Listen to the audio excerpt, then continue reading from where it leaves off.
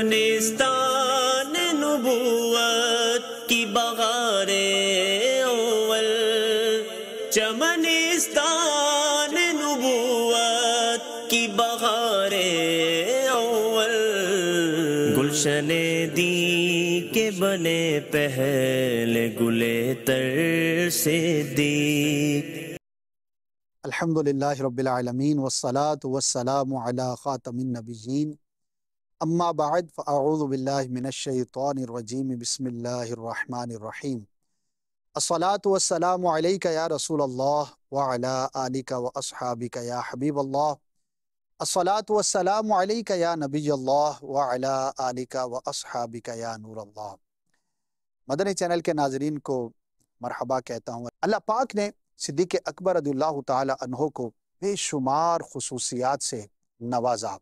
اور کیوں نہ ہو کہ انبیاء کرام کے بعد ساری مخلوق کے اندر جو سب سے افضل پرسنالٹی ہوگی، تو وہ کتنی زیادہ جامع کمالات ہوگی۔ اور آج الحمدللہ اس پروگرام کے اندر ہماری خوش قسمتی اسپیشلٹی مفتی محمد قاسم اتاری دامت برکاتم العالیہ کرم فرما ہے مرحبا کہتا ہوں ویلکم ٹو یو انشاءاللہ عز و جل آج جو ہے وہ سیرت کے کچھ پہلوؤں پر گفتگو ہوگی اور جو بالخصوص آج جو ہم گفتگو کرنے جا رہے ہیں، وہ صدیق اکبر رضی اللہ تعالی عنہ کا مزاج شناس رسول صلی اللہ تعالی علیہ وسلم ہونا ہے۔ مفتی صاحب، سب سے پہلے تو میں چاہوں گا کہ یہ لفظ بولنے میں، لکھنے میں بڑا خوبصورت ہے، لیکن جب میں یہ موضوع دیکھ رہا تھا تو مجھے ایسا لگا کہ شاید اس لفظ کا مفہوم بھی ہو جائے۔ اور آخر یہ جو ایک خصوصیت ہے، اس کی اہمیت کیا ہے کہ اگر کوئی شخص کسی کا مزاج شناس ہے۔ تو اس خصوصیت کو ہم کس پیرائے میں کس طرح سے دیکھتے ہیں کہ یہ کتنا اہمیت کا حامل ہے؟ بسم اللہ الرحمن الرحیم۔ سیدنا صدیق اکبر رضی اللہ تعالیٰ عنہ کی نہایت جامع ہستی بے شمار اوصاف کے مالک صحابہ کرام میں سب سے افسر نبی پاک صلی اللہ تعالیٰ علیہ وآلہ وسلم کے سب سے مقرب سب سے محبوب صحابی آپ ہیں۔ اور آپ کی جو خصوصیات ہیں اس پر احادیث طیبہ یوں کہہ لیں کہ شاید صحابہ کرام میں سب سے زیادہ جو فضائل کمالات اور روایات ہیں وہ جن تین چار صحابہ کرام کے بارے میں ہیں ان میں ایک سیدنا صدیق اکبر رضی اللہ تعالیٰ عنہ۔ کیونکہ جو فضائل اور واقعات کی جو روایات ہیں اس کی بہت بڑی تعداد وہ بھی ہے۔ جن کا تعلق مولا علی شیر خدا رضی اللہ تعالیٰ عنہ کے ساتھ ہے۔ اور اس کی ایک وجہ یہ تھی کہ مولا علی شیر خدا رضی اللہ تعالیٰ عنہ کے دشمن جنہیں خارجی کہا جاتا تھا۔ تو چونکہ انہوں نے حضرت علی رضی اللہ تعالیٰ عنہ کی گستاخی اور توہین کرنا یہ ایک اپنی زندگی کا معمول بنایا ہوا تھا۔ تو اس لیے پھر جو اہل سنت تھے جی۔ جو تابعین تبا تابعین تھے انہوں نے بطور خاص اس طرف توجہ دی کہ مولا علی رضی اللہ تعالیٰ عنہ کے فضائل جمع کی۔ سبحان اللہ۔ تو اس لیے آپ کے فضائل پر روایات بڑی کثرت کے ساتھ صحیح۔ اچھا ایسے ہی سیدنا عمر فاروق رضی اللہ تعالیٰ عنہ کے بارے میں جو روایات ہیں، ان کی تعداد بہت زیادہ ہے۔ کیونکہ ان کا جو زمانہ خلافت ہے، جو ان کے فیصلے ہیں، جو ان کے لشکروں کا روانہ کرنا تھا، وہ ایک اتنا وسیع زندگی کا حصہ ہے کہ اس وجہ سے آپ کے بارے میں جو روایات ہیں، ان کی تعداد بھی بہت زیادہ ہے۔ اچھا پھر تیسری بات اس میں یہ بھی آ جاتی ہے کہ سیدنا عمر فاروق رضی اللہ تعالیٰ عنہ اکثر فضائل میں تو صدیق اکبر رضی اللہ تعالیٰ عنہ کے ساتھ ہی ہوتے ہیں، ایسا ہی۔ تو اب جو فضیلت صدیق اکبر رضی اللہ تعالیٰ عنہ کی ہوتی ہے، وہ عمر فاروق رضی اللہ تعالیٰ عنہ کی بھی ہوتی ہے۔ اگرچہ افضل جو ہے وہ صدیق اکبر رضی اللہ تعالیٰ عنہ، لیکن بہت سارے فضائل میں عمر فاروق رضی اللہ تعالیٰ عنہ شریک ہے تو یوں ان کی شان میں بھی روایات بہت زیادہ ہے اور پھر سیدنا صدیق اکبر رضی اللہ تعالیٰ عنہ، ان کے بارے میں زیادہ روایتوں کا ایک بہت بڑا سبب یہ ہے کہ حدیث کہتے ہیں، جب ہم لفظ حدیث بولتے ہیں، سنتے ہیں، حدیث ہوتی ہے نبی پاک صلی اللہ تعالیٰ علیہ وسلم کا فرمان، یا آپ کا عمل، یا آپ کے سامنے کچھ ہوا اور آپ اس پر خاموش رہے، یا آپ نے کچھ کلام کر دیا۔ صدیق اکبر رضی اللہ تعالیٰ عنہ نبی پاک علیہ السلاۃ والسلام کے ساتھ آپ کی معیت اور آپ کی صحبت میں اتنے زیادہ رہتے تھے، اتنے زیادہ رہتے تھے کہ آقا کریم صلی اللہ تعالیٰ علیہ وآلہ وسلم کا جب کوئی عمل بیان کیا جائے گا، تو اب اس عمل کے وقت جو آپ کے ساتھ ہوگا، اس کا بھی تذکرہ ہو جاتا ہے۔ ایسا ہی۔ تو اس لیے نبی پاک علیہ السلاۃ والسلام کے اس پیارے صحابی کا تذکرہ سرکار علیہ السلاۃ والسلام کے تقریباً اکثر و بیشتر واقعات اور اعمال کے ساتھ موجود ہے۔ نبی پاک علیہ السلاۃ والسلام نے اعلان نبوت فرمایا۔ اب یہ تو سرکار علیہ والسلام کا واقعہ ہے نا جی۔ لیکن اس کے بعد جن سے ملاقات ہوئی جن سے تسلی ملی اور جو سب سے پہلے مسلمان ہوئے تو صدیق اکبر رضی اللہ تعالیٰ کا نام آ جائے گا نبی پاک علیہ السلاۃ والسلام نے چھپ کر تبلیغ فرمائی۔ تو آپ کے اس چھپ کر تبلیغ دینے میں بھی جو آپ کے ساتھ تھے وہ صدیق اکبر رضی اللہ تعالیٰ سبحان کیونکہ حضرت عثمان آپ کے ترغیب پر مسلمان ہوئے حضرت طلحہ زبیر حضرت عبد الرحمن بن عوف یہ آپ کے کہنے پر مسلمان ہوئے۔ تو اب وہ جو عمل عمل نبوی ہے اس میں بھی صدیق اکبر رضی اللہ تعالیٰ ساتھ۔ سبحان اللہ۔ اعلانیہ تبلیغ فرمائی جب شروع کی۔ تو اعلانیہ تبلیغ میں سب سے پہلا جو اعلان تھا وہ کیے صدیق اکبر رضی اللہ تعالیٰ سبحان اللہ۔ اچھا پھر جو معراج کا واقعہ تھا جی۔ اس میں بھی بہت نمایاں تذکرہ جو صحابہ کرام کا آتا ہے وہ صدیق اکبر رضی اللہ تعالیٰ کا ہے۔ اچھا۔ پھر اس کے بعد جو ہجرت کا واقعہ ہے۔ ہجرت کا واقعہ تو یوں کہہ لے کہ ون اینڈ اونلی کا معاملہ ہے۔ ایسا ہی۔ ہے کہ وہ تو مکہ مکرمہ میں جہاں تک ذکر ہے تو وہاں مولا علی شیر خدا رضی اللہ تعالیٰ عنہ کا کہ آقا کریم علیہ والسلام نے اپنے بستر پر ان کو لٹایا۔ لیکن جب سفر شروع ہوا۔ اب سفر کا جتنا بھی ڈیوریشن ہے اور جتنا بھی اس کا واقعہ ہے جتنے واقعات ہیں خواہ وہ گھر سے نکلے یا وہ غار سور میں گئے یا وہ کسی کو جو پیسے دے کے راستے کے لیے اس کو ساتھ لیا تھا یا آگے وہ جو سراقہ بن مالک نے پیچھا کیا تھا یا آگے ام معبد کا تذکرہ ہے یا اس کے بعد جو ایک صحابی تھے اسلمی قبیلے کے جو وہ جھنڈا لے کر آئے تھے جی۔ یا مدینہ منورہ میں پہنچے یا انصار نے استقبال کیا یا مسجد قباء شریف میں قیام کیا یا مسجد جمعہ میں واپسی ہوئی یا وہاں سے مسجد مدینہ منورہ پہنچے اور مسجد نبوی کی تعمیر کی بات ہوئی۔ تو یہ پورا واقعہ ہی وہ ہے کہ اصل واقعہ ہے سرکار دو عالم صلی اللہ علیہ وسلم کا۔ لیکن صدیق اکبر رضی اللہ تعالیٰ عنہ کا جو ساتھ ہے وہ کہا جائے گا قدم قدم پہ۔ قدم قدم پہ۔ ایسا ساتھ کہ خاص اس جو ہجرت والا واقعہ ہے جی۔ اس میں تو اللہ تعالیٰ نے قرآن پاک میں بیان فرما دیا نا کہ اللہ تنصروہ فقد نصرہ اللہ کہ لوگوں اگر تم نبی کی مدد نہیں کرو گے تو بے شک اللہ ان کی مدد کر چکا۔ ہاں۔ کب اذ اخرجہ الذین کفروا ثانی اثنین جب کافروں نے نبی کو وطن سے نکالا اور وہ دو میں سے دوسرے تھے۔ اذ ہما فی الغار۔ جب وہ دونوں غار میں تھے۔ اذ یقول لصاحبہ جب یہ نبی اپنے ساتھی سے اپنے صحابی سے اپنے دوست سے اپنے رفیق سفر سے اپنے ہم سفر سے فرما رہے تھے لا تحزن ان اللہ معنا۔ غم نہ کر۔ بے شک اللہ ہم دونوں کے ساتھ شک۔ اللہ تعالیٰ کا جو اصل قرب اور نصرت اور تائید ہے وہ تو سرکار دو عالم صلی اللہ علیہ وسلم کے ساتھ ہے لیکن چونکہ صدیق اکبر ساتھ ہے جی۔ تو لہذا ان کا تذکرہ بھی ساتھ ہے۔ تو ان اللہ معنا بے شک اللہ ہمارے ساتھ۔ تو یوں ٹل اینڈ کہ آپ جو آگے کے واقعات غزوہ بدر غزوہ احد غزوہ خندق غزوہ تبوک سفر مکہ مکرمہ صلح حدیبیہ جتنے واقعات لیں گے ان سب کے اندر صدیق اکبر رضی اللہ تعالیٰ عنہ کا تذکرہ آپ کو مل جائے گا۔ سبحان اللہ تو یہ وہ چیز میں عرض کر رہا ہوں کہ صدیق۔ اکبر رضی اللہ تعالیٰ عنہ کی جو عظمت و شان ہے اس پر اتنی کثرت کے ساتھ روایات کی۔ بے شک۔ اب آپ نے بات کی کہ مزاج شناس رسول یہ لفظ جو ہے مزاج شناس رسول۔ جی۔ یہ نتیجہ بھی بنتا ہے اور یہ اصل بھی بنتا ہے کہ جس کے آگے نتائج نکلتے ہیں۔ سبحان اللہ۔ آخر ایک شخص کسی دوسرے شخص کا مزاج شناس بنے۔ تو اس کی کوئی وجہ ہوگی نا؟ یہ ہسٹری ایک آدمی مشرق میں ہے دوسرا مغرب میں ہے دونوں ایک دوسرے کے ہم مزاج نہیں ہو سکتے۔ ایسا اچھا ایک ہی جگہ رہنے والے بھی یا ایک ہی گھر میں رہنے والے بھی ایک دوسرے کا مزاج سمجھنے والے نہیں بنتے۔ حتیٰ کہ ہم عام روٹین میں دیکھتے ہیں کہ میاں بیوی ایک دوسرے کا مزاج نہیں سمجھ پاتے۔ ایسا ہی تو مزاج سمجھنا اس کے پیچھے کوئی وجہ ہوتی۔ اور جب کوئی کسی کا مزاج سمجھ رہا ہوتا ہے تو اس کا نتیجہ بھی کچھ اور ہوتا۔ ہے تو گویا ایک اعتبار سے ہم مزاج ہونا مزاج شناس ہونا جی۔ یہ نتیجہ ہے۔ اور ایک اعتبار سے یہ اصل ہے اور اس کے نتائج ہیں۔ اس کے اپنے ثمرات ہیں۔ سبحان۔ صدیق اکبر رضی اللہ تعالیٰ عنہ مزاج شناس تھے سرکار دو عالم صلی اللہ تعالیٰ علیہ وآلہ وسلم کے۔ اس کی وجہ کیا تھی؟ تو۔ پہلے یہ ہے کہ یہ نتیجہ ہے اور اس کی کوئی بنیاد ہے۔ بنیاد۔ اس کی بنیاد کیا ہے؟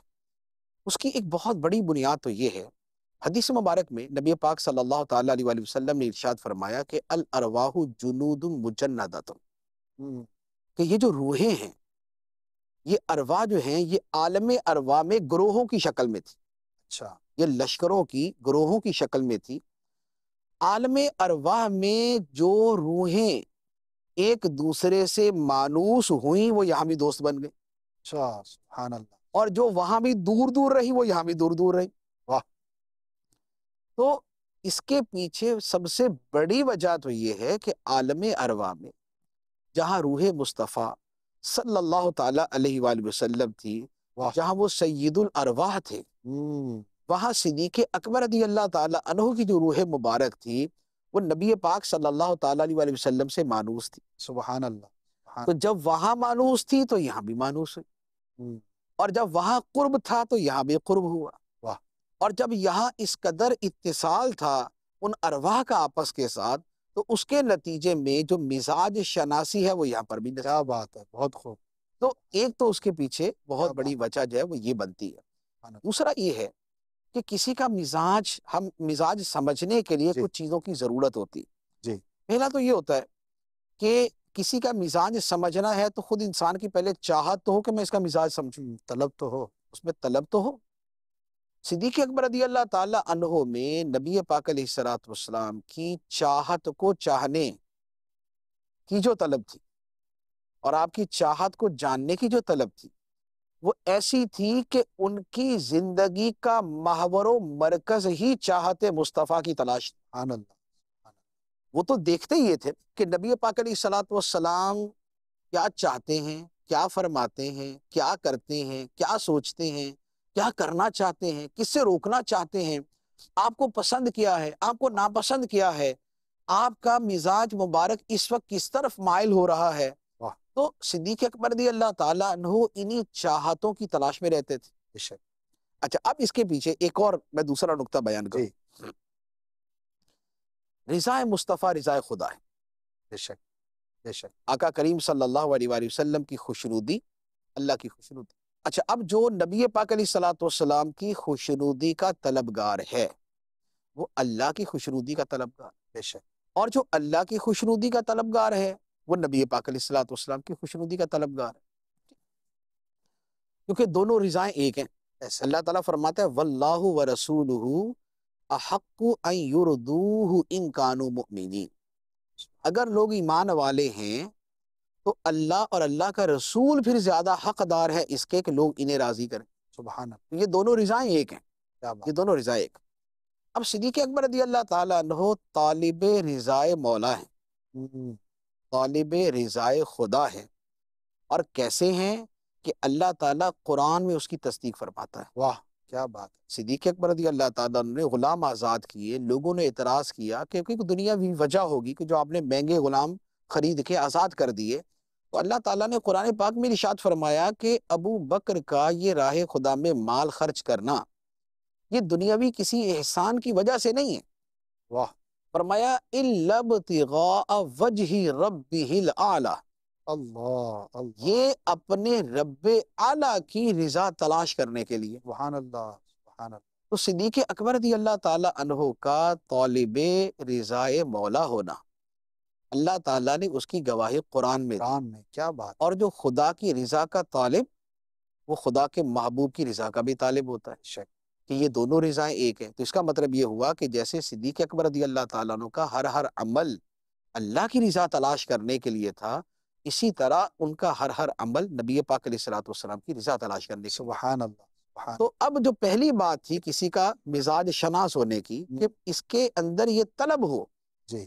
کہ یہ اس کا مزاج سمجھے یہ اس کی رضا کو سمجھے۔ تو صدیق اکبر رضی اللہ تعالیٰ وہ کرتے تھے ایک دوسری بات اس کا مزاج سمجھنے کے لیے صرف طلب کافی نہیں۔ جی۔ اس کے ساتھ اس کے ساتھ رہنا بھی ضروری بہت ضروری۔ آپ صرف طلب کے اوپر تو کسی کو نہیں جان سکتے۔ کسی کے ساتھ دن رات گزرے گے صبح و شام گزرے گی سفر و حضر گزرے گا زندگی کا ایک حصہ گزرے گا تب جا کے پتا چلے گا کہ ان کا کھانا پینا پہننا اوڑھنا ان کے ہر شے کے اندر ان کا مزاج مرضی کیا ہے؟ سبحان اللہ۔ اب جتنا قرب جتنی معیت جتنی صحبت صدیق اکبر رضی اللہ تعالیٰ عنہ کو نصیب ہوئی کسی دوسرے صحابی کو اتنی نصیب نہیں۔ اللہ اللہ کیا کسی دوسرے صحابی کو۔ نبی پاک صلی اللہ تعالیٰ علیہ وآلہ وسلم کا ایسا قرب تھا۔ واہ۔ نبی پاک علیہ صلاۃ والسلام صدیق اکبر کے بچپن کے دوست تھے اعلان نبوت سے بھی پہلے۔ اعلان نبوت سے بچپن کے دوست۔ سبحان اللہ۔ تو جب تیرہ چودہ سال کی عمر تھی تب بھی سرکار علیہ صلاۃ والسلام صدیق اکبر کے ساتھی ہوتے واہ کیا بات ہے تو اب آپ دیکھیں کہ بچپن میں جو ایک دوسرے کا مزاج سمجھنا ہوتا ہے وہ ذرا زیادہ بہت زیادہ۔ ایزیلی ہو جاتا ہے۔ تو صدیق اکبر رضی اللہ تعالیٰ نے اس عمر سے ساتھ۔ واہ۔ ایک بات۔ دوسری بات جب اعلان نبوت ہوا تین سال کے اندر صرف تھرٹی نائن لوگ مسلمان ہوئے تھے۔ صحیح۔ ایک کم چالیس۔ یہ جو چالیس تھے ان میں سے بھی خواتین شامل تھی صحیح۔ جو اپنے گھروں پہ رہتی تھی۔ ان میں غلام شامل تھے۔ جو اپنے آقاؤں کی خدمت میں تھے۔ ایسے۔ ان میں غریب مسلمان بھی تھے جو اپنے کام کاج میں لگے رہتے تھے۔ محنت۔ لیکن ان تین سالوں میں جس صحابی کو سب سے زیادہ سب سے زیادہ نبی پاک علیہ السلاۃ والسلام کے پاس جانے کا بیٹھنے کا باتیں کرنے کا آپ کے اعمال کے مشاہدہ کرنے کا موقع ملتا تھا وہ صدیق اکبر۔ سبحان اللہ سبحان اللہ اور پھر جب کھلی تبلیغ شروع ہو گئی اس کے بعد کیا معاملہ تھا؟ حضرت عائشہ صدیقہ رضی اللہ تعالیٰ عنہ فرماتی ہیں کہ نبی پاک صلی اللہ تعالیٰ علیہ وآلہ وسلم مکہ مکرمہ میں دن میں دو مرتبہ ہمارے گھر تشریف لاتے تھے۔ اللہ اکبر کیا بات میں دو مرتبہ سبحان نبی پاک علیہ السلاۃ والسلام ہمارے گھر تشریف لاتے تھے۔ تو اب دو مرتبہ سرکار خود چل کے جاتے تھے۔ کیا بات ہے؟ تو اب آپ اس سے قرب اور محبت اور اتصال سمجھ لیں۔ سبحان اللہ۔ تو اب یہ ایک طرف دوسری طرف۔ مدینہ منورہ میں جبکہ صحابہ کرام کی تعداد بھی بڑھ چکی تھی پھر ایک اعتبار سے وہ جو پریشانیاں مکے میں تھیں وہ والی یہاں پر نہیں تھیں۔ لیکن طریقہ کیا ہوتا تھا؟ بخاری کی احادیث ہیں۔ کہ عشاء کی نماز کے بعد سارے صحابہ اپنے گھروں کو چلے جاتے صحیح۔ لیکن صدیق اکبر رضی اللہ تعالیٰ عنہ سرکار کے پاس چلے جاتے واہ۔ صحابہ کرام سارے اپنے گھروں۔ صحیح۔ اور صدیق اکبر رضی اللہ تعالیٰ عنہ کا معمول یہ تھا کہ آپ سرکار علیہ والسلام کے پاس جا کے بیٹھ جاتے۔ بلا ناغا ایک گھنٹہ دو گھنٹے آقا کریم علیہ والسلام کے پاس بیٹھتے۔ اللہ یہ خصوصی وقت۔ اب اس سے زیادہ قرب اور اس سے زیادہ صحبت اور کیسے ہو سکتی ہے؟ کہ۔ سب اپنے گھروں میں ہیں اور صدیق اکبر رضی اللہ تعالیٰ سرکار کے پاس بیٹھے۔ سبحان اللہ۔ تو چونکہ آپ کو ایک عام طلب تھی آقا کریم علیہ الصلوۃ والسلام کے عادت مزاج طبیعت نفاست اور آپ کے جو آپ کے اسرار اور جو آپ کے قلب اطہر کی باتیں وہ جاننے کی ایک طلب تھی اور اس کے مواقع آپ کو زیادہ ملے۔ سبحان پھر خاص طور پہ علماء کرام فرماتے ہیں کیا بات کہ صدیق اکبر رضی اللہ تعالیٰ عنہ کو جو ہجرت کی رات میں غار سور میں سرکار کا قرب ملا تھا اللہ اکبر۔ وہ ایسا تھا ایسا تھا آخر ایک مہینے کا سفر تھا یہ۔ جی۔ ایک مہینے میں تیسرا بندہ کوئی نہیں واہ۔ کہیں کہیں کوئی ایک آدھ مل گیا تو میرا مل گیا چوبیس گھنٹے ایک مہینہ دو ہستیاں تنے تنہا ہیں۔ اللہ اکبر۔ آقا کریم علیہ السلام والسلام نے کیا کیا بتایا ہوگا؟ کیا کیا علم عطا فرمایا ہوگا؟ صدیق اکبر نے کیا کیا پوچھا ہوگا؟ کیا کیا دیکھا ہوگا؟ اللہ۔ کیسی کیسے مشاہدات ان کے ہوئے ہوں گے۔ اور پھر وہ جو غار کی رات ہے کہ جہاں کا ماحول ہی ایک اسرار کا ہوتا ہے۔ اللہ۔ ایک انوار کا ہوتا ہے۔ اور سید الرسول صلی اللہ علیہ وآلہ وسلم جلوہ فرما ہے۔ اللہ۔ اور یہاں سید المومنین ان کے ساتھ ہیں۔ واہ۔ تو کیا کیا ملا ہوگا؟ کیا کیا دیا ہوگا؟ حضرت عمر فاروق رضی اللہ تعالیٰ فرماتے تھے اے کاش کہ میری زندگی کی ساری نیکیاں اللہ۔ ابو بکر صدیق کی ایک رات اور ایک دن کے برابر ہو جائیں۔ سبحان اللہ۔ ایک رات اور ایک دن کے برابر۔ پھر فرمایا پتا کون سی؟ رات وہ جو صدیق اکبر نے غار سور میں گزاری تھی۔ اللہ اکبر۔ جہاں اپنی جان بھی قربان کر دی تھی بے شک تو رات وہ جو غار سور میں گزاری تھی۔ واہ۔ اور دن وہ جب آقا کریم علیہ السلاۃ والسلام دنیا سے تشریف لے گئے اور پورے عرب میں فتنے پھیل گئے۔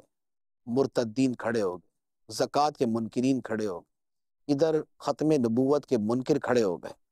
تو رنگ برنگے لوگوں کے حال اور اس وقت ایک ایسی قسمہ پرسی کا عالم تھا کہ فتنوں کی کثرت سے یہ سمجھ نہیں آ رہا تھا کہ ان کا حل کیا کیا جائے۔ اللہ تو فرمایا کہ وہ دن جو تھا جس میں صدیق اکبر رضی اللہ تعالیٰ نے کھڑے ہوئے کہ نبی پاک صلی اللہ تعالیٰ علیہ وآلہ وسلم کی امت کو سنبھالنا ہے۔ اللہ۔ آپ کے دین کو بچانا ہے۔ ختم نبوت کا تحفظ کرنا ہے۔ لوگوں کو سیدھا کر کے چھوڑنا ہے۔ اور صدیق اکبر رضی اللہ تعالیٰ نے سب کچھ کر کے دکھایا۔ اللہ بے شک۔ عمر فاروق رضی اللہ تعالیٰ نے کہا کرتے تھے کہ کاش کہ میری زندگی کی ساری نیکیاں ابو۔ بکر کے ایک دن اور ایک رات کے برابر ہو جائیں۔ اللہ۔ تو یہ صدیق اکبر رضی اللہ تعالیٰ نے قرب پایا تو یہ قرب بھی پایا اور مشاہدہ بھی کیا۔ پھر ایک تیسری اہم ترین جو عنصر ہوتا ہے جو سب سے زیادہ مزاج شناسی میں جس کا عمل دخل ہے جی۔ وہ ہے شدت محبت۔ شدت محبت۔ ظاہری اعتبار سے کسی کی آبزرویشن کر کے کچھ کیلکولیشن کر لینا یہ نفسیاتی اعتبار سے یا ٹیکنیکلی تو یہ چیزیں بن جاتی ہیں۔ صحیح۔ لیکن کسی کے اندر تک کو سمجھ لینا یہ تب ہوتا ہے کہ جب اپنی محبت اس کے ساتھ بے پناہ بے شک۔ اور محبت اب جتنی زیادہ ہوگی اتنا ہی سامنے والے کو سمجھ جائیں گے۔ اور صدیق اکبر رضی اللہ تعالیٰ نے وہ ہیں کہ جن کا لقب ہے عاشق اکبر۔ عاشق اکبر بے شک۔ وہ صدیق اکبر بھی ہیں وہ متقی اکبر بھی ہیں اتقا ہیں وہ صالح اکبر بھی ہیں سب سے بڑے صالح ہیں۔ سبحان اللہ۔ اور اس کے ساتھ وہ عاشق اکبر بھی ہیں۔ واہ۔ تو اب وہ عاشق اکبر کے جن کی ذات نبی پاک علیہ السلاۃ والسلام کی محبت میں ایسی فنا تھی کہ وہ سب کچھ قربان کر کے بھی کہتے ہیں کہ گھر والوں کے لیے اللہ اور اللہ کا رسول چھوڑ گیا اللہ اکبر۔ باقی سب تو ختم۔ کیا بات۔ میں میرے گھر والے میرا مال سب یا رسول اللہ آپ پہ قربان۔ گھر والوں کے لیے اب قیت الحم اللہ و رسول۔ گھر والوں کے لیے اللہ اللہ کا رسول چھوڑ کے آیا۔ اللہ۔ تو یہ ہے فنا فی رسول سبحان اللہ۔ پھر اس کے ساتھ صدیق اکبر رضی اللہ تعالیٰ نے فرض کرتے تھے کہ میری زندگی کی تین خواہشیں۔ سبحان اللہ سبحان ایک تو یہ ہے کہ میری بیٹی نبی پاک علیہ السلاۃ والسلام کی زوجہ بن جائے۔ تو سبحان مجھے یوں ایک جو رشتہ داری کی۔ فضیلت ہے وہ حاصل ہو جائے۔ ماشاء دوسرا یہ ہے دوسری میری خواہش یہ ہے کہ اللہ تعالیٰ مجھے مال دیتا رہے میں سرکار پہ قربان کرتا رہا کیا بات ہے سبحان اور تیسری خواہش یہ ہے کہ میں نبی پاک صلی اللہ تعالیٰ علیہ وآلہ وسلم کے چہرہ انور کا دیدار کرتا رہا اللہ اللہ۔ یہ زندگی کی تین سب سے بڑی خواہشیں صدیق اکبر رضی اللہ تعالیٰ نے بیان کرتے ہیں۔ کیا بات ہے۔ تو اب جب عشق محبت ایسی ہوگی تو اس سے جو مزاج کا سمجھنا ہوگا وہ اس کی جو وائبز ہوتی ہیں وہ خود بخود ٹرانسفر ہوتی تو یوں صدیق اکبر رضی اللہ تعالیٰ جو ہے وہ سب سے بڑے سبحان مزاج شناس رسول۔ سبحان اللہ کیا بات ہے مفتی صاحب۔ آ، ناظرین آ، اتنا خوبصورت کلام باقی صدیق اکبر رضی اللہ تعالیٰ عنہ کی جو سیرت ہے جیسے کہ خاص طور پر فاروق اعظم رضی اللہ تعالیٰ عنہ کا وہ تمنا کرنا کہ ایک دن اور ایک رات کی نیکی۔ فاروق اعظم رضی اللہ تعالیٰ عنہ کے ہم اپنے فضائل دیکھتے ہیں۔ تو بندہ رش کرتے ہیں، ساری رات گزر جائے، ساری زندگی گزر جائے اور حیرت ہوتی ہے کہ جن کے بارے میں میرے آقا صلی اللہ تعالی علیہ وسلم نے اتنی روایات میں اتنا کچھ ارشاد فرمایا۔ وہ فاروق اعظم رضی اللہ تعالیٰ عنہ ساری زندگی کی نیکیاں نہیں، بلکہ ایک دن اور ایک رات کی نیکی کے تمنائی ہوں۔ اللہ تبارک و تعالیٰ نے کیا زبردست ہستی عطا فرمائی۔ اور میرے اور آپ کے لیے یہ خوش قسمتی ہے کہ الحمدللہ ہم ان میں سے ہیں کہ جو صحابہ و اہل بیت دونوں سے محبت کرنے والے ہیں۔ صحابہ کرام سے ہم الحمدللہ ٹوٹ کر محبت کرنے والے ہیں۔ اور صحابہ کرام علیہ مردوان میں جس کا جو مقام و مرتبہ ہے، اللہ کی رحمت سے اس کو سمجھنے والے ہیں۔ تو اللہ تبارک و تعالیٰ کا یہ ہم پر بڑا احسان ہے، بڑا کرم ہے۔ کہ آج ہم بیٹھ کر فضائل صدیق اکبر رضی اللہ تعالیٰ عنہ سن بھی رہے ہیں، بیان بھی ہو رہے ہیں۔ اور ان کے فضائل تو جو تھے وہ تو اللہ پاک نے انہیں عطا کر دیا۔ ہمارا تذکرہ کرنا تو اپنے لیے برکت حاصل کرنا ہے۔ تو ان کی سیرت کا مزید مطالعہ کریں، کتابیں پڑھیں، بیانات سنیں۔ تو جب کسی کے بارے میں ہم سنتے ہیں، پڑھتے ہیں تو ہمارے دل میں اس کی محبت جو ہے وہ مزید اجاگر ہوتی ہے۔ مفتی صاحب مزاج شناسی جب ہوتی ہے تو ایک بڑا تعلق قائم ہو جاتا ہے اور خاص طور پر ہم نے کتابوں میں بھی پڑھا کہ اگر آپ کوئی لیڈرشپ کے تعلق سے کوئی ڈیسیژن کرنا چاہتے ہیں اور آپ پریشان ہیں تو آپ کسی بڑے لیڈر کے بارے میں غور کریں جس کے ساتھ آپ کا وقت گزرا ہو کہ یار میری جگہ پر اگر وہ ہوتا تو کیا کرتا۔ جب بہت زیادہ قرب ہوتا ہے اور مزاج شناسی ہو جاتی ہے تو پھر بندے کی گفتگو، بندے کے فیصلے بندے کے سوال جواب کا طریقہ کار بھی بہت زیادہ میچ کرنے لگتا ہے اور بعض اوقات تو ایسا دیکھنے میں آتا ہے کہ یار یہی بات اس نے کی تھی اور یہی بات یہ کر رہا ہے، چونکہ دونوں کا مزاج جو ہے وہ یکساں ہو جاتا ہے۔ تو جب صدیق اکبر رضی اللہ تعالیٰ عنہ کی بات کرتے ہیں تو صلح حدیبیہ کے موقع پر جب فاروق اعظم رضی اللہ تعالیٰ عنہ بارگاہ رسالت مآب صلی اللہ تعالیٰ علیہ وسلم میں حاضر ہوئے کچھ آپ نے سوالات کیے جواب دیے گئے پھر وہ صدیق اکبر کی بارگاہ میں حاضر ہوئے۔ تو ذرا اس واقعے کا تذکرہ ہو جائے وہ کیا تھا اور اس واقعے کے اندر کس طرح سے صدیق اکبر رضی اللہ تعالیٰ عنہ نے میرے آقا صلی اللہ تعالی وسلم کے مزاج کا عکس کا گویا کہ اظہار کیا۔ یہ وہی بات ہے جو میں نے شروع میں عرض کی تھی نا کہ مزاج شناسی کی ایک اصل ہے۔ جی۔ اور مزاج شناسی ہو جائے جی۔ تو پھر اس کے نتائج ہوتے ہیں۔ تو جو پہلی ہماری ساری گفتگو تھی صحیح۔ وہ تھی کہ آپ کا جو مزاج شناس ہونا ہے اس کی اصل کیا تھی؟ اس۔ کا سبب کیا تھا؟ اب جب مزاج شناس ہیں جی۔ تو اس کے نتائج کیا ہیں؟ سبحان اللہ۔ تو یہ ہے کہ چونکہ صدیق اکبر رضی اللہ تعالیٰ عنہ کی ذات جو ہے اچھا اس کے تھوڑا سا یوں کہہ لے کہ ایک تصوف کے رنگ میں بھی ایک بات میں عرض کروں اور ضرور ضرور۔ اس کا تعلق حقیقت کے ساتھ بھی ہے۔ اللہ ہم ایک لفظ سنتے ہیں فناف الشیخ۔ جی۔ فناف الشیخ کا کیا مطلب ہوتا ہے کہ یہ اپنے شیخ کے اندر فنا ہے؟ جی۔ اچھا اس پہ یہ کہا جاتا ہے کہ یہ تصور شیخ کرے صحیح۔ کہ شیخ کے بارے میں سوچے جی۔ تصور شیخ کرنے کا طریقہ کیا؟ ہے؟ جی۔ اس کے کئی طریقے ہیں۔ صحیح۔ ان طریقوں سے بیسیکلی یہ بات نکلتی ہے جو میں نے عرض کرنی ہے۔ تصور شیخ کا ایک طریقہ یہ ہوتا ہے کہ ایک مرید جو ہے یہ تصور کرے کہ میرے پیر کے دل سے ایک فیضان کا دھارا میرے دل پہ آ رہا ہے۔ ٹھیک ہے ایک گنبد خضرہ سے نبی پاک علیہ الصلوۃ والسلام سے فیضان آ رہا ہے پیر کے دل پہ اور پیر کے دل سے میرے دل پہ۔ صحیح ایک تو یہ ہوتا ہے۔ یہ تصور شیخ کا طریقہ دوسرا طریقہ یہ ہوتا ہے کہ یہ سمجھا جائے کہ پیر جو ہے وہ میرے دل میں بیٹھا ہوا ہے۔ اچھا۔ اور وہ میرے دل کو صاف کر رہا ہے صحیح۔ میرے پیر صاحب میرے دل کو صاف کر رہے ہیں۔ تصور شیخ کا دوسرا طریقہ یہ ہوتا ہے۔ سبحان اللہ۔ تیسرا طریقہ یہ ہوتا ہے کہ بندہ یہ سمجھے کہ میرا وجود میرا ہے ہی نہیں بلکہ اسی کی جگہ پیر ہی ہے اللہ اکبر۔ تو جو میں کر رہا ہوں وہ میں نہیں کر رہا پیر صاحب کر رہے ہیں۔ سبحان اللہ۔ تو اب آدمی کے افعال جو ہیں وہ پیر کے افعال میں ڈھلنا شروع ہو ہوں، کمال۔ چوتھا طریقہ یہ ہوتا ہے یہ جو بھی آپ نے بات کی کہ مرید جو ہے وہ کوئی بھی کام کرنے سے پہلے یہ سوچے کہ اگر میری جگہ پیر صاحب ہوتے تو کیا کرتے؟ یہ تصور شیخ کا چوتھا طریقہ سبحان اس کا نتیجہ کیا ہوتا ہے کہ چونکہ پیر صالحین میں سے ہوتے ہیں جی۔ اور نیکوں میں سے ہوتے ہیں تو اب ہر عمل کے وقت جب بندہ یہ سوچ لیتا نا یار وہ ہوتے تو کیا کرتے؟ تو بندہ پھر ویسا ہی اچھا عمل کرتا ہے۔ کیا بات ہے زبردست۔ جیسے تصور شیخ میں شیخ کے ساتھ یہ تعلق ہے۔ جی۔ اسی طرح فنافل رسول میں تصور رسالت اور تصور رسول کے ساتھ بھی اسی طرح کی صورتحال ہوتی ہے۔ کیا بات؟ کہ آدمی یہ سوچتا ہے یعنی چوتھی صورت کے اعتبار سے کہ اگر یہی معاملہ آقا کریم صلی اللہ علیہ وآلہ وسلم کو پیش آتا تو آپ کیا کرتے؟ صحیح۔ اور سنت کا جذبہ پیدا کرنے اور سنت پر عمل کرنے کے لیے ایک بڑا بہترین طریقہ یہ ہوتا ہے واہ کہ کوئی لڑائی جھگڑے کا معاملہ ہو گیا۔ تو اب بندہ یہ سوچے کہ یار نبی پاک علیہ الصلوۃ والسلام کے سامنے یہ معاملہ تھا تو آپ کیا کرتے؟ تو جیسے آپ افو درگزر کرتے آپ صلح صفائی کا معاملہ کرتے آپ پیار محبت سے بات کرتے آپ سخت کلامی نہیں کرتے تو آدمی اس کے اعتبار سے سوچے گا نا تو اس کا اپنا عمل اس کے مطابق ہو جائے گا۔ بہت خوب بہت اب یہ جو آپ نے بات کہی کہ جی۔ لیڈرشپ کامیاب لیڈرشپ کا ایک طریقہ یہ ہوتا ہے کہ جو زیادہ بڑا لیڈر ہے اسے ذہن میں رکھا جائے کہ میری جگہ وہ ہوتے تو کیا کرتے۔ کیا کرتے؟ صدیق اکبر رضی اللہ تعالیٰ عنہ کا مزاج ایسا تھا کہ اس میں نبی پاک علیہ الصلوۃ والسلام وہاں کیا کرتے صدیق اکبر خود ہی وہ کرتے تھے۔ اللہ اکبر کیا بات۔ اور اس کے پیچھے ایک تو وہ جو فنائیت تھی صحیح۔ وہ تھی۔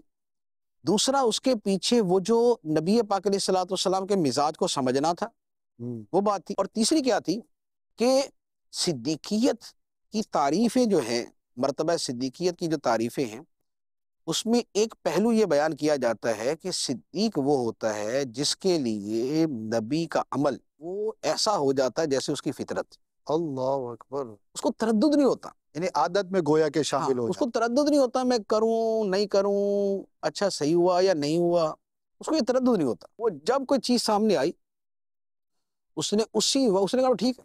سبحان اللہ۔ صدیق اکبر رضی اللہ تعالیٰ نے جو ہر موقع پر یہی کہہ دیتے تھے نا اچھا سرکار نے فرمایا تو ٹھیک۔ سبحان اللہ۔ میراج کی رات جو واقعہ تھا وہ واقعہ کیا تھا؟ سبحان اللہ۔ کفار نے آ کے کہا دیکھو تمہارے ساتھی کیا کہہ رہے ہیں۔ ہوں عجیب بات کر ٹھیک ہے نا؟ تو انہوں نے کہا کہ اگر میرے آقا نے فرمایا تو ٹھیک ہے۔ واہ! یہ جو ہوتا ہے نا، یہ صدیقیت ہوتی کیا بات۔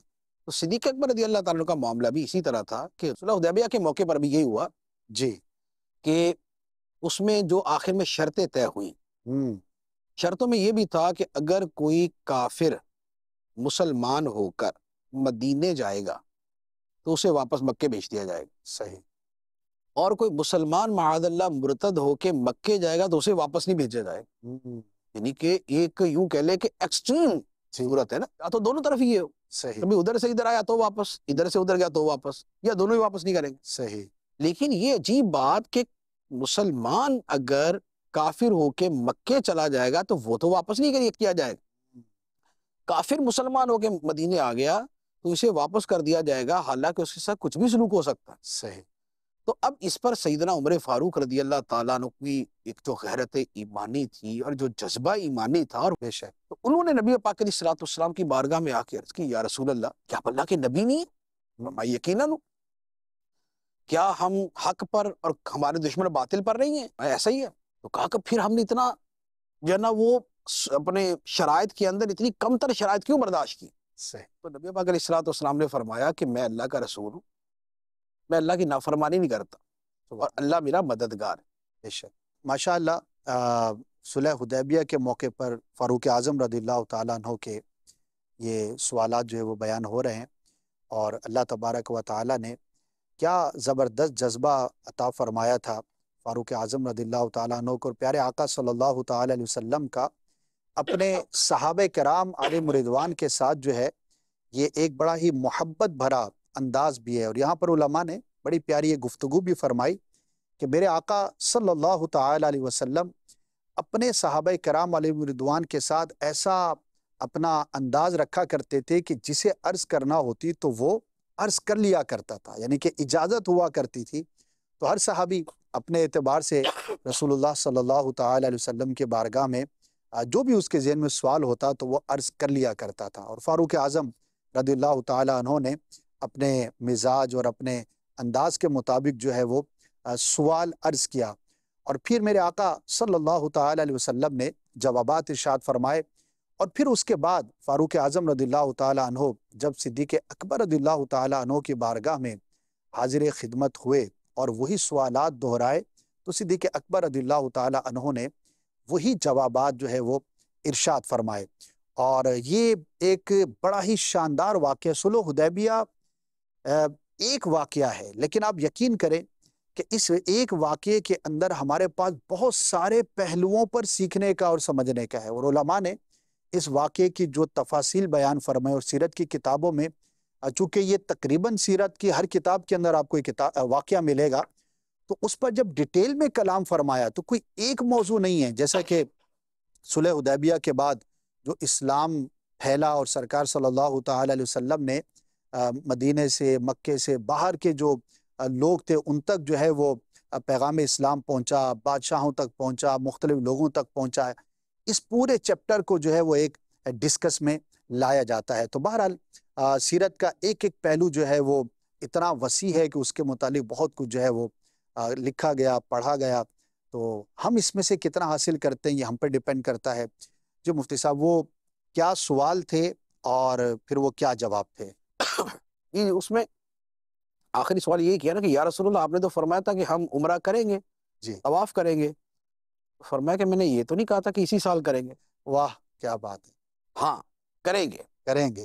اچھا اب یہ سارے سوالات کے بعد حضرت حضرت عمر فاروق رضی اللہ تعالیٰ عنہ سیدنا صدیق اکبر رضی اللہ تعالیٰ کے پاس آئے۔ جی۔ آتے ساتھ یہی سوال کیا کہ آپ اللہ کے رسول نہیں ہیں؟ یعنی کوئی نفی مقصود نہیں تھی لیکن ایک سوال کا انداز تھا۔ جی۔ پر میں یقین اللہ اللہ کے رسول ہیں تو پوچھا کہ کیا ہم حق پر اور ہمارے دشمن باطل پر نہیں ہیں؟ تو فرمایا یقیناً ایسا ہی ہے۔ جی۔ کہا کہ اچھا تو پھر ہم نے اس طرح کی جو ہے وہ صلح کیوں کی ہے؟ جس میں ہم اتنا زیادہ جو ہے نا وہ نیچے ہو کے صلح کر رہے ہیں۔ تو سیدنا ابو بکر صدیق رضی اللہ تعالیٰ نے فرمایا کہ اے عمر وہ اللہ کے رسول ہیں۔ واہ۔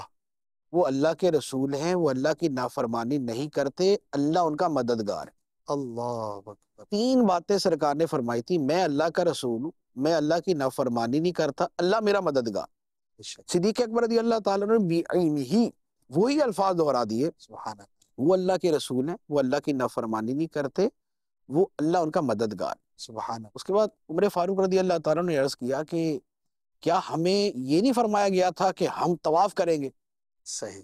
صدیق اکبر نے فرمایا کہ یہ تو فرمایا تھا لیکن یہ کب کہا تھا کہ اسی سال کریں اسی سال کریں گے۔ واہ۔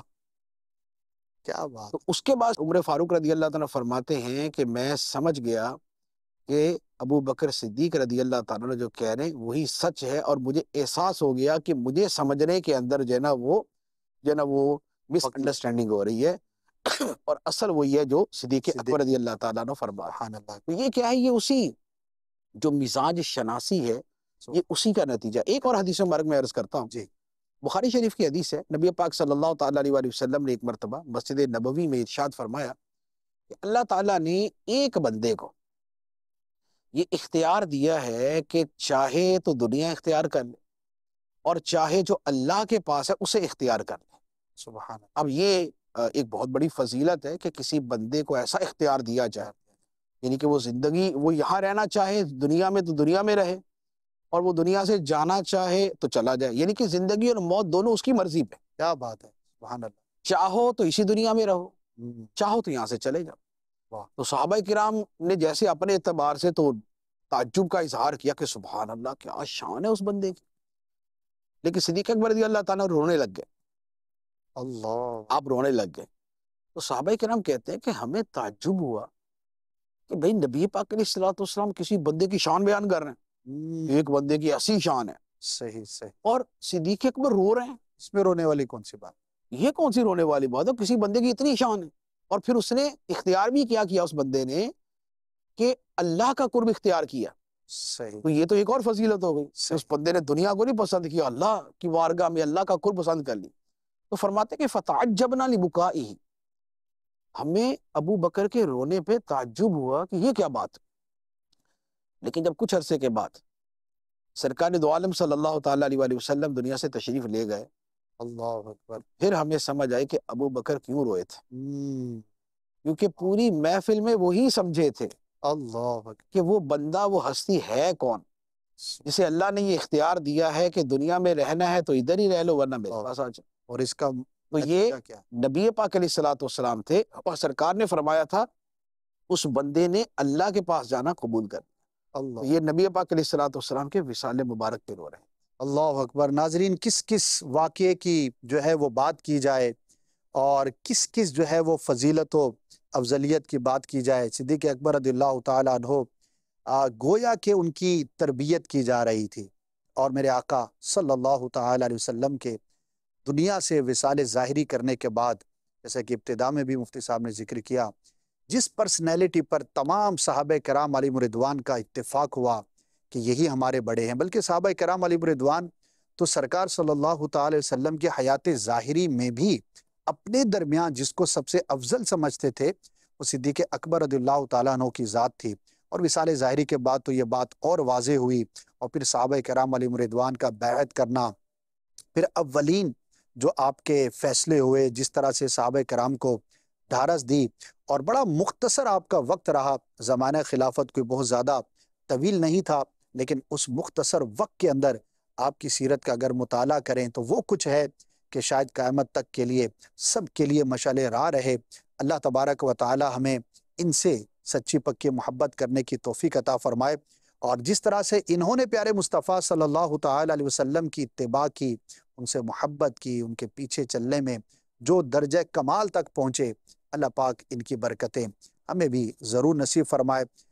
یہاں پر دو کتابوں کا میں تذکرہ کر کے آج سلسلے کا اختتام کروں گا کہ سلسلے کا وقت تو محدود ہی رہتا ہے۔ عاشق اکبر کتاب ہے، بڑی ہی زبردست کتاب ہے اور مختصر ہے، قدر مختصر ہے۔ آ، یہ پڑھ لیں کیونکہ ہر ایک کا بہت زیادہ پڑھنے کا اتنا ذوق شوق نہیں ہوتا لیکن یہ ایک چھوٹی کتاب کہہ سکتے ہیں۔ اور اگر ڈیٹیل میں پڑھنے کا آپ کا روٹین ہے یا انداز ہے یا جذبہ ہے تو پھر المدینہ العلمیہ کی جو کتاب ہے فیضان صدیق اکبر رضی اللہ تعالیٰ عنہ بڑی جامع معنی اور شاید اردو زبان کے اندر اتنی جامع اتنی ڈیٹیل میں اور تخریج کے ساتھ حوالہ جات کے ساتھ سلیس اردو کے ساتھ، بہت ساری چیزوں کے ساتھ شاید اتنی بہترین کتاب آپ کو اس موضوع پہ نہ ملے، چاہیں تو یہ آپ حاصل کر سکتے ہیں، پڑھ سکتے ہیں۔ اللہ پاک ہم سب کو فیضان صدیق اکبر رضی اللہ تعالی عنہ سے حصہ عطا فرمائے اور قیابت کے روز ان کے غلاموں میں ہمیں شامل ہونا نصیب فرمائے۔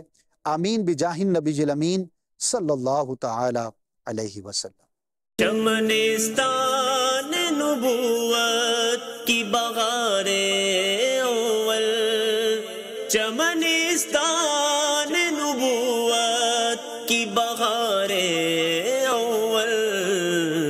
گلشن دی کے بنے پہلے گلے تر سے دی۔